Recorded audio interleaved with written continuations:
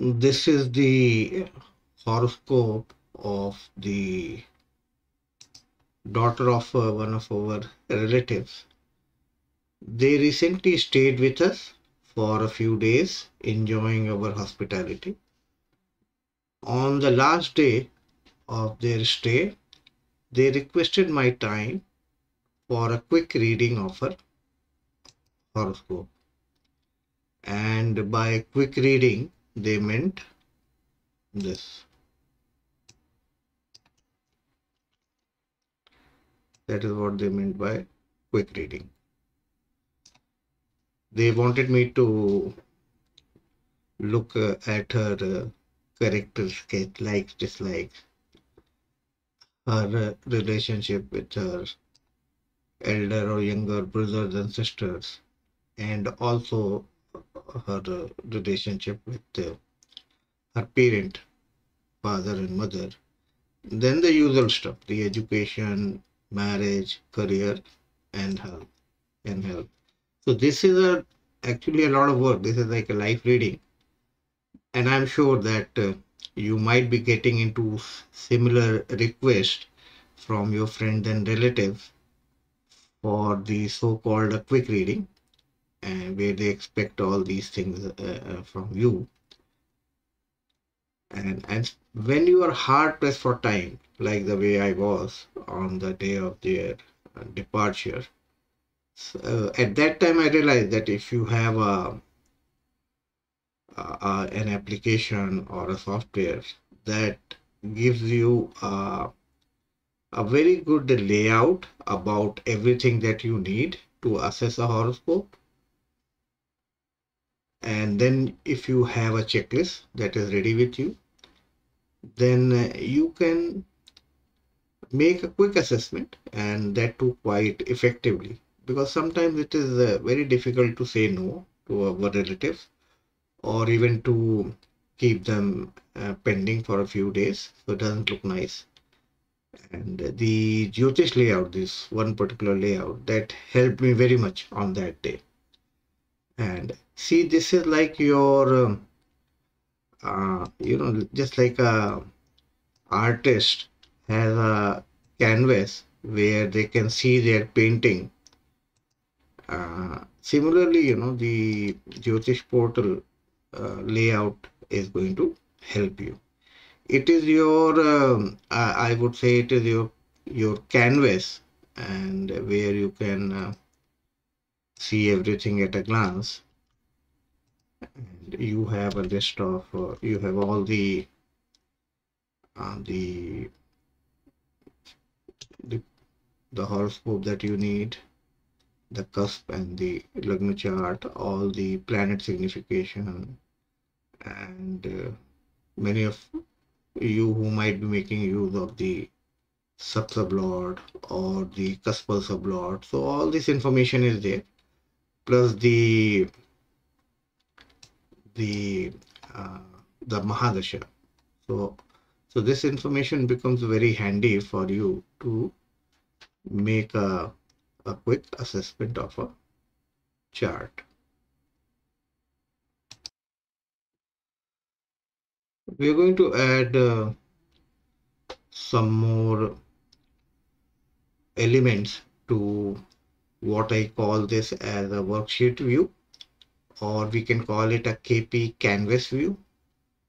And uh, so the the new additions will only help you have a have a at a glance view of the entire thing that you need uh, at your disposal.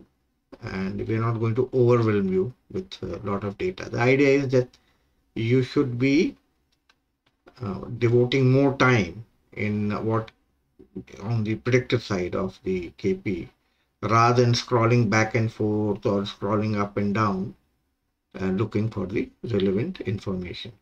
Now this is I have I have uh, I'm not going to disclose the birth data uh, for privacy reason.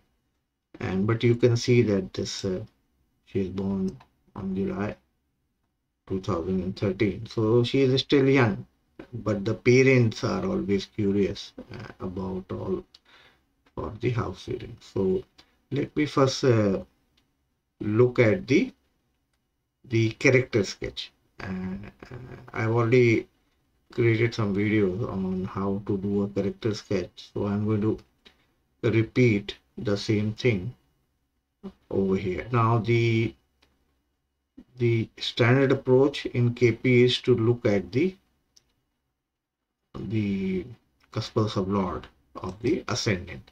Now this thing I haven't seen this uh, giving very good results when this comes to the character sketch. So all you have to do is just um, look at the Lagna chart and look at what the ascendant is. That's a Leo in this case. And also look at where the moon is. The moon is all in Aries so you can see that the the fire element the that governs the ascendant and that also governs the uh, the moon rashi. So and you should be knowing about uh, the the likes dislikes or the traits that are related to the fire element. So that will help you put some notes about the basic character sketch uh, of this person. And but that's just one part of the character sketch. When you make use of the ascendant and the and the moon rashi. The next thing is you have to look at the uh, the element. If uh, this chart has some kind of uh, inclination towards one particular element so if you look at uh, the planets they are many of these majority of these planets are occupying the the air sign the jupiter sun Mercury is in uh, Gemini and Saturn and Rahu uh, are in uh, the Libra. So five planets are already in the air element. So, so there is definitely a tilted toward the air element. So apart from the fire that this horoscope has from the ascendant and the moon, there is a, a, good dose of the air element as well. That that that, that makes a person intelligent that's what the air sign is all about. And the fire sign makes a person ambitious so the chart is going to be a, a of a person who will develop into an intelligent ambitious and pushy woman in the future. And uh, so and then lastly you have to also look at what houses are represented by the ascendant lord. So we see the sun. Sun is indicating the the third house and the 11th house and the 10th house. So it also puts focus on the on these houses. And you can make it out that these houses have something to do with the career and profession. So now uh, you can draw a picture that uh, this person will be intelligent, this person will be pushy, and this person will uh, be very focused on her career in her life. So these kind of notes you should have some bits and bits so that you can accumulate them together and present it as a part of the character sketch. This is this will not fail you. In most of the chart, the approach that I just discussed with you will work uh, well for you. So that's the the character sketching.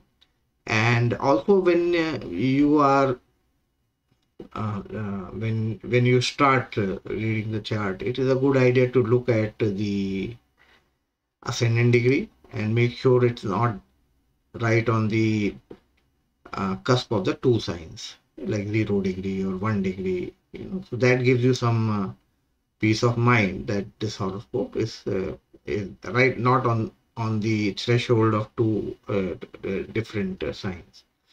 And then quickly also have a look at uh, the the planets and see that none of these planets are in 29 degree plus or 0 degree and the idea is that um, you should be sure that the if there is some uh, some uh, discrepancy in the recorded time of birth then the the planet might move into the other sign or the ascendant might change. So this particular uh, layout will help you quickly analyze or quickly make a decision that this horoscope is is is correct. And even otherwise now this is a, a recently born uh, person. So nowadays uh, parents are very particular about keeping uh, exact time of birth. Now let's uh, look at some other aspect of her life. And the next question is obviously about the the the elder brother, the younger brother, sisters, and what kind of relationship uh, this person might have with uh, her brothers or sisters. So, and, and this is one of the questions that I have seen that comes uh, most of the time from uh, from our relatives, and a lot of time we tend to ignore this question.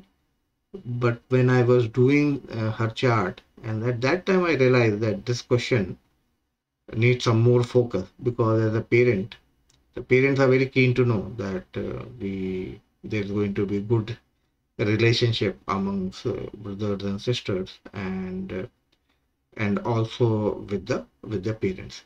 So now the the KP rule for the uh, the having good relationship with the younger the, the sister and the uh, the elder one is uh, let me write you know these rules for you.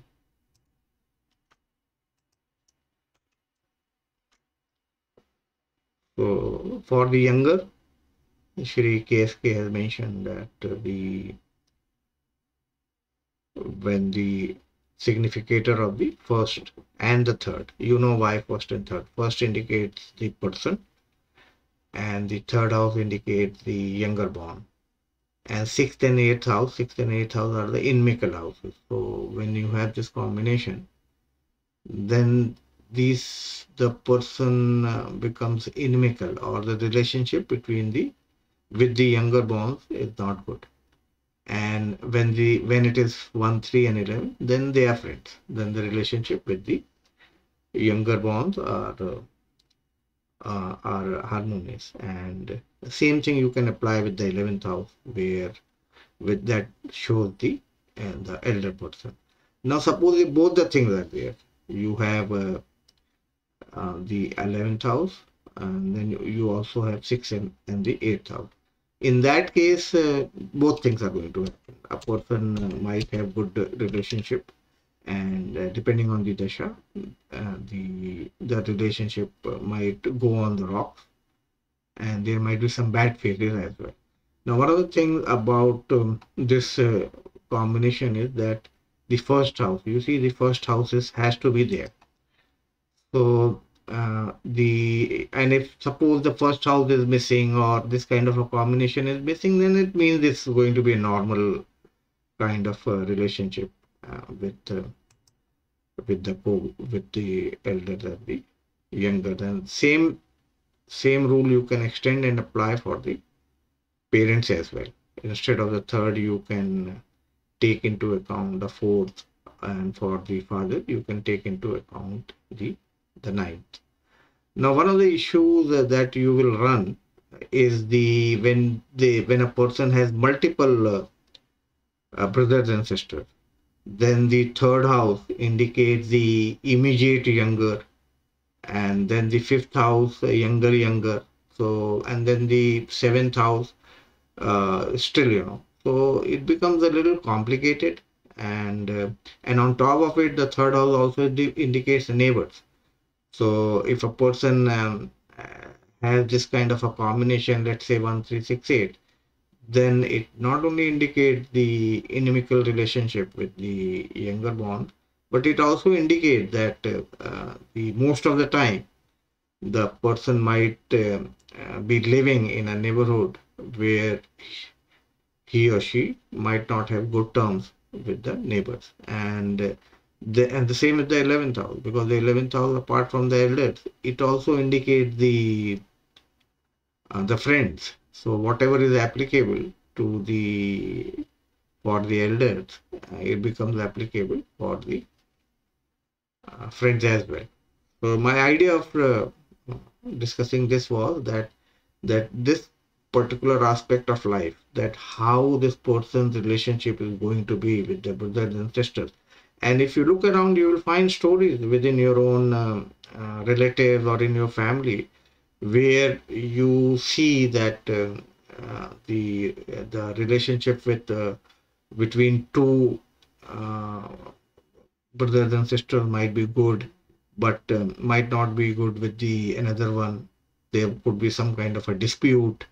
So this is a very important aspect of life. And i think uh, we need to look uh, more into uh, the these kind of a charts where uh, where some kind of a partition has happened in the in the home or there is some uh, dispute, disharmony amongst brothers and sisters. This is one area that worth looking for because this this question is a very uh, popular question uh, and that is what I realized uh, that day. Now in this chart, if you look in this chart, then you find that the the first house is indicated by the or the signification of the first house is indicated by Venus and then I think it is the sun right and no other planet indicates the the first house uh, and if you look at this combination for the venus and also for the sun. Then uh, you see that 11 is there. You don't see any bad combination. So you know that this person will have a good relationship with uh, her younger or the or the elders. So that's uh, that that that's the that's about the relationship with uh, brothers and sisters let's move on to the uh, the education part. Now the education for the leo ascendant if you look at the fourth house and the ninth house they both are ruled by uh, the sun uh, sorry the mars. So by default the mars becomes the significator of these two houses, which are deemed to be very good in uh, Krishnamurti Paddhati for the higher education. But just by virtue of being the ruler of the fourth and the ninth house is not sufficient. There has to be some additional stuff that will certify or make Mars eligible or any other planet that is uh, in the star of Mars eligible to give good education. Now, if you look at the this particular table, you see that uh, the Mars is untenanted. Uh, this is one of the very important uh, thing in Krishnamurti Paddhati, and I did a video on this. Never ignore the untenanted planet in Krishnamurti Paddhati. They play a very specific role and they take on a very strong signification as well. So Mars, which was just a ruler of the fourth and the ninth curve by virtue of being untenanted has become a very strong significator of the fourth and the ninth house. Very strong. I would say it's a first plus uh, kind of a significator for the fourth and the ninth house. So what it indicates? It indicates that this person will definitely have a very good um, education and because it is Mars and Mars is also in the star of Mars so you can make it out that this person is going to have a technical uh, education and that, that to a higher education and on top of it you see the the Mars is in the 10th cusp so it seems like the whatever she is going to study is going to be her career as well. That what this this uh, combination indicate. Now another another thing about is the finding the uh, the kind of education one might have the arts or the science or the commerce and even when we talk about the technical is she going to be in the medical or she's going to be an engineer so these are some of the questions that um, uh, that you have to face and uh, uh, uh, and then uh, and have some of your checklists or notes ready. And so when I looked at when I was looking at the chart, then I saw that the Mars the sublord is Saturn, that also indicates the sixth house, which usually indicates the medicine or the medical side. But I was not sure about it. So then I thought that let me do some more investigation. I, I was already hard pressed for time. But uh, what KSK has sent, said is that you have to find out the dasha at the time of the first uh, uh, job. So how do you find out? You take the significator of the second house, which in this case is uh, Mercury, and you see the Mercury is untenanted. Mercury is very strong. It is the it is the only significator of the second house. Mercury is very strong. And then you take the sixth house, and sixth is the Saturn, so you would find Venus over there, and then take the significator of the 10th house. So in 10th house you have Mars and Jupiter uh, both, but I'm just going to focus on the Mars because Mars is stronger than the Jupiter. Mars is uh, untenanted and it, it is in its own star. So, uh, so the uh, the uh, the Mars is very strong. And on top of it, if you look at uh, the Jupiter, then Mercury is deposited in the Jupiter star. So Mercury becomes more powerful than Jupiter. So it is Mercury, Venus, and Mars. So this is the combination that indicates the uh, the first job that she will get during this dasha, antar, and That is what she should be getting and then you have to look at what kind of um, uh, career opportunities or the nature of career this combination can produce. So mercury venus and mars this is where uh, you will have to refer to the uh, one of the books uh, by krishnamurti whether it is uh, the third reader or i guess the transit where this the the result for these combination is given. Third reader is given. So uh, the Mars and Mercury and sorry the the Mercury, Venus and Mars. Now this combination will appear in uh, I think Aries and then this combination is going to appear in uh, in uh, in the Taurus as well and and then maybe in Gemini the idea is to look at the star uh, star lord the sorry the sign star lord and sublord where mercury venus and mars this combination takes place and if you if you look in this particular book by Sri Krishnamurti, third reader then you will you can identify those uh, zones uh, or the areas that are jointly ruled by Mercury, Venus, and Mars. So I flipped through the pages and I saw that uh, uh, that the the engineering or the engineer uh, thing was mentioned, but I could not see any reference to any medical thing. So I told them the I told the parent that uh, she is definitely going to be in the technical uh, education side. She will have higher education but it seems to me that she will be more like a consulting engineer rather than being in the medical side.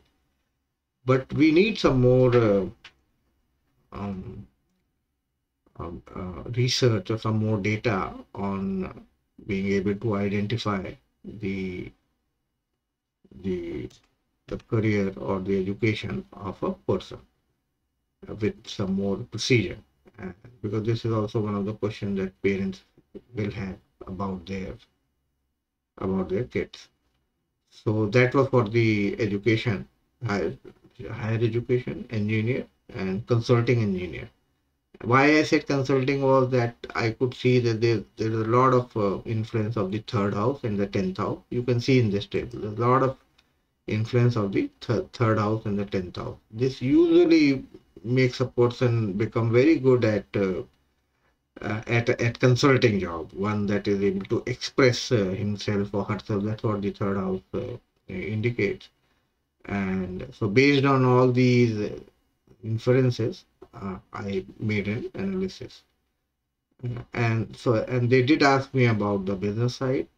So I ruled out the business side, and the only reason was that uh, see the business side is ruled by the seventh house. You have to look at the seventh house. So if you look at the at the Saturn, that is that rules the cusp of the seventh house, then you see the Saturn is uh, uh, in the star of Rahu, and again Saturn is in the sub of Saturn. So this is not a good combination for being in business.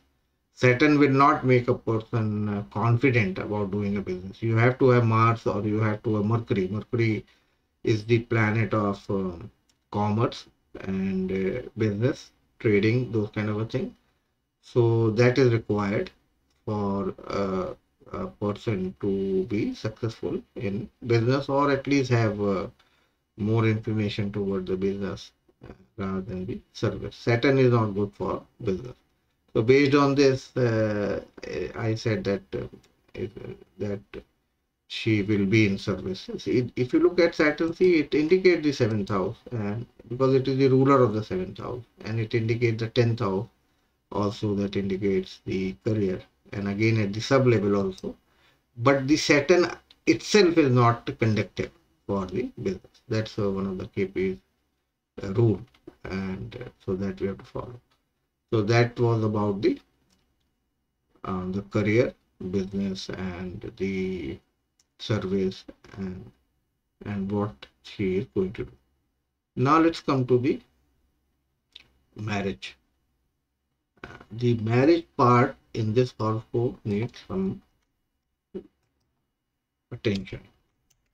And one of the things that uh, I wanted to point out was there is one rule, KP rule about the marriage.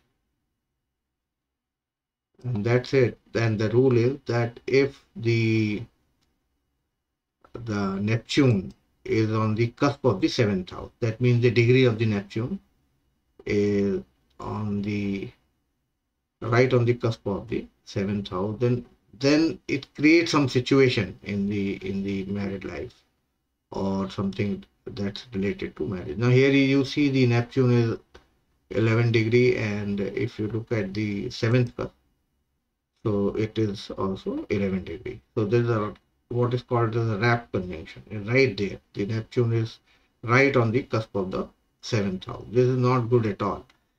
This this particular uh, uh, yoga, I would say, is not about uh, divorce or those kind of a thing. This indicates some kind of a deception, some unusual thing that's going to happen uh, at the time of marriage. That's why in the title of this video, I deliberately mentioned uh, the deception in marriage. Uh, so you might want to make a note of this uh, rule you that you will not find, but Sri Krishnamurti in that book, the marriage married life, has mentioned about one particular incident and uh, thus uh, uh, focusing on the this particular yoke caused by the Neptune. The when the Neptune is right on the cusp of the seventh house, then some unusual thing happens at, at the time of marriage. It's not about the the relationship or the divorce or not the usual kind of bad thing but something unusual happens, some deception happens at the time of marriage. So, so, so I gave uh, her parent this kind of a hint that the there is some bad yoga pertaining to marriage, and there is another uh, another uh, observation from Shri Krishnamurti that also you might want to make a note of. So we already talked about Neptune on 7 plus.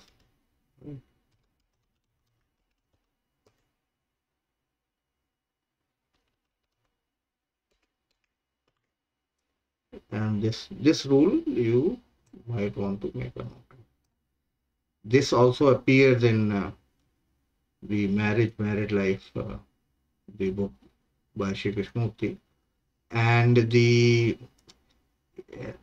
what this rule basically says is that uh, uh, if a planet is the significator of uh, the marriage giving houses like 2 7 11 but at the same time it is only the sole significator of the sixth house then it it will not allow the marriage to happen. And if you look in this chart then you find this yoga emerging. Look at the venus. See, the venus is indicating the uh, the marriage related houses and after the Ketu Dasha, then she is going to be in the under the sway of the Venus Dasha. So that at the fag end of the Venus Dasha is the time for the uh, for the matrimonial prospect. But look at why how Venus is going to deny the the thing, and that's because of this particular rule that Shri KSK has mentioned. That Venus is the only significator the only one strong single significator of the sixth house. If you look at the at the uh, star lord column, you will only see the Venus, and Venus is the only one strong significator of the sixth house. And Venus at the same time is also indicating the uh, the marriage giving house. So, but the marriage, but uh, Venus is not going to bring forth the marriage. So this is one another one rule that you might want to make a note of. Uh, and so the Venus Dasha, the marriage is not going to happen. And then Neptune on the seventh cusp, deception. Now the question comes that should come to your mind is there two questions that should come to your mind. That if suppose the Neptune is uh, not on the seventh cusp, let's say it is on the first cusp, the ascendant itself, then what happens? Then will that person go through some deception? Nothing to do with marriage but this is a logical thing that you should be asking. Now there are some very good uh, observations from Shri Krishnamurti on the role of role of the Neptune. So but I'm going to uh, uh, create a separate video because it uh, is it's, it's going to be a little longer but that will explain some observation that I'm going to share you about the role of the Neptune. Now after the Venus Dasha, this person is going to go through the Sun Dasha. So Sun is okay for the, it indi indicates the third and the 11th. It also indicates the 11th house. So that's also, this all indicates uh, uh, a, a good period where matrimonial prospect can happen. But uh, the uh, there is another rule that let me quote from Sri Krishnamurti himself and from the same book. And this is, you know, for this uh, particular uh, quote from KSK is for some other horoscope, not for this particular horoscope. Where while analyzing that horoscope, Shri KSK has mentioned about the role of uh, the the earth sign, especially the sixth and the tenth the sixth and the tenth house are good for business, but they are bad for marriage. So what he's saying is that these houses, which can which can give a good career or a professional life to a person, are eventually harmful for the matrimonial prospect. That is what this particular rule uh, here is trying to elaborate, and you must make a note of it any horoscope where you find that the emphasis is too much on the on the earth related uh, house this is basically the sixth house and the tenth house and even the first house. Because the first house makes a person ambitious about self uh, publicity or self recognition. But first house being 12th to the second house is not good for the kutumba life or the or for the marriage and same is for the 6th and 10th so any horoscope that has a lot of uh, inclination toward the career oriented house is not a good house for the marriage especially the matrimonial uh, compatibility or the uh, relationship. That is what it, it it says. Marriage might happen but it will be a very Uh, uh, uh, and a, a, very kind of a dull married life and so that is what this indicates. So you can make a note of this also. Now let's move on to the on the uh, health.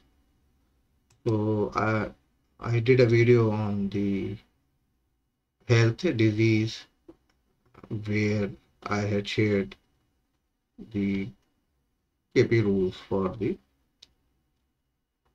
the health disease. So basically you have to look at uh, the bad houses are 6, 8 and 12 and the first house has to be there. And then the the for the recovery or the good health, the 11th house, 9th house, 5th house, these are good houses. So if you now the Venus Dasha, she'll going through the Venus Dasha. Venus does indicate the the first house and it also indicates the sixth house over here. You can see that Venus is uh, uh, in the star of the Saturn that is the ruler of the sixth house. So then you can identify other periods within the uh, Venus Dasha. But since the Mahadasha Lord is strongly connected with the 11th house, so nothing to worry about. Then again after that you have Sun and Sun is also strongly connected with the first house. So all the Antardasha or Pratyantardasha that have a strong connection with the 8th or the 12th house or the 6th house are the period that you can identify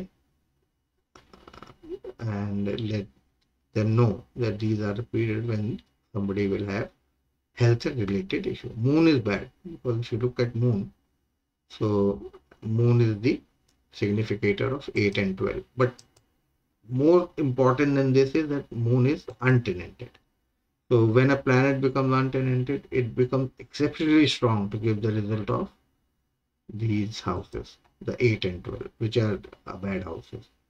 So the moon period is uh, is bad. Otherwise, uh, this horoscope is not bad from the health point of view. Minor health issues might be there, and until the moon dasha. So this is how we I was able to uh, give them quote unquote a quick reading uh, about uh, the various important aspects of the of our life and uh, so uh, we are working on some more options and you will see that we'll be adding some more options to be to our portal. And uh, right now I think we have the only KP resources. So my friend and my colleague Jayesh is working on it. And soon you will have a section with KP resources. And we'll keep on adding some more options on our portal and thank you for all the emails and suggestions that we have gotten through the contact us page or through the direct email and I'm going to create a video where we will discuss uh, some of the suggestions and comments that we have received from you guys. Thanks for watching.